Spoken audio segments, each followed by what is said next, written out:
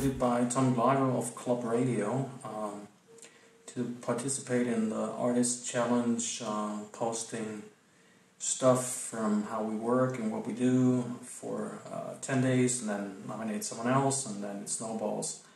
Alright, uh, this is my humble abode and uh, my work corner. You may have expected a large studio, yeah, I wish. Um, but technology these days gets you very far, uh, even to professional levels. So basically, that's all I need. There's a keyboard that lets me, uh, you know, enter keyboard ports, um, other instruments by MIDI. MIDI is a signal that triggers sounds um, from within the computer so that they sound like a different instrument. Let's say, for example, here's a synth bass let me see whether this one works. Remove the latency a little bit. So here's a synth bass.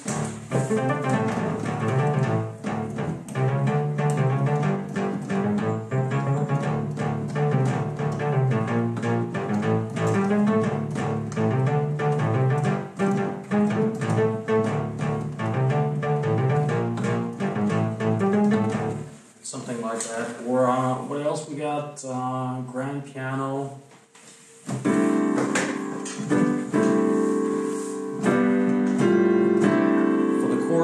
Progression.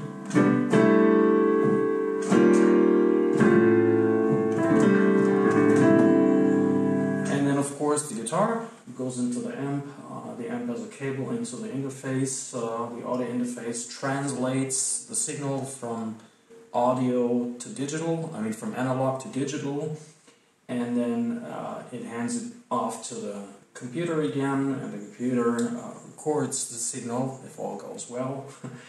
so um, those are basically the ingredients you require nowadays to record uh, professional sounding music. I hope it sounds professional, that's what I'm aspiring to. And uh, well, let's give this a spin. Let's see, um, I have the guitar plugged in where are we? Rhythm guitar. Yeah, there's already, um, don't know whether you can see that. Uh, try to bring it up here. Rhythm guitar track uh, for the guitar. And um, there's certain sound settings that are that are here, you know, for uh, channel EQ, which is uh, that thing here. Um, oh, let me it um, it it modifies the sound of the guitar a little bit or makes it sound a little crisper, a little more uh, suitable for rhythm. And uh, all right, all you got to do is start the playback, hit the record button. This is um, armed as it's called. It's already armed, and once I hit the record button, it'll start to record a new rhythm track. So let's give it a try.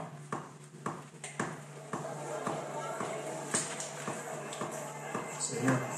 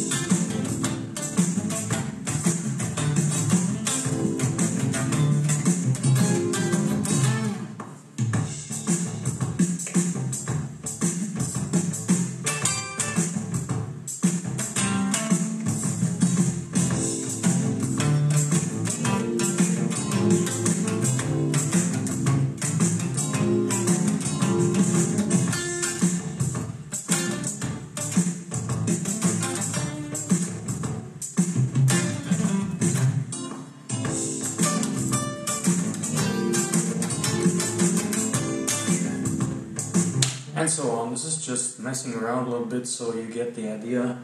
Um, let's see, where is it? Um, here's what I recorded, and if I double click it, you see that it did record the rhythm track. Let's solo this for a minute here.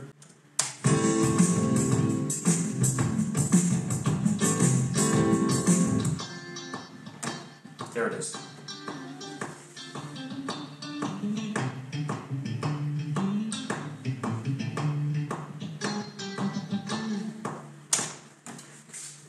So yeah, that's uh, basically how this whole process works. Uh, you start out with uh, with a drum track, for example. There's a wonderful feature in Logic called Drummer. Uh, it actually emulates a real drummer in a live session, which is amazing. I don't know how they do it, but I'm being told it's uh, used by um, it's it's being um, uh, brought into the DAW by um, artificial intelligence. There's an algorithm that acts like a real drummer. It's amazing. It's really musical. I, it blows my mind every time I use it. Or you record an actual drummer if you have a budget. And then, uh, well, on it goes. I mean, here's the drum track, for example. This is uh, the drum track isolated.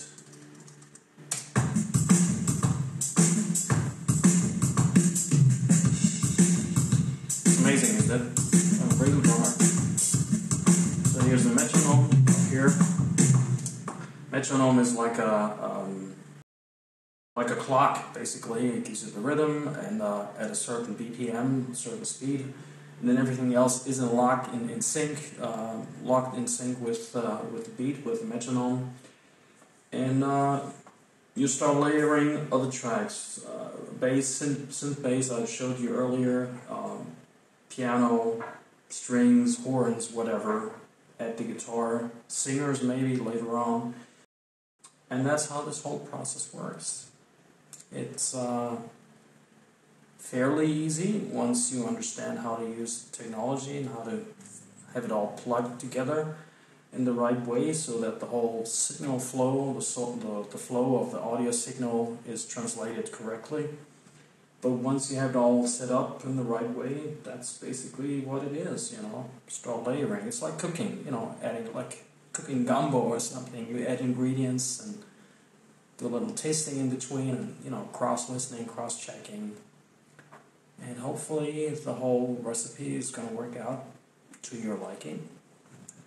So that's that. Hope you enjoyed this. This is Wesbound for Wesbound Music. And see you later.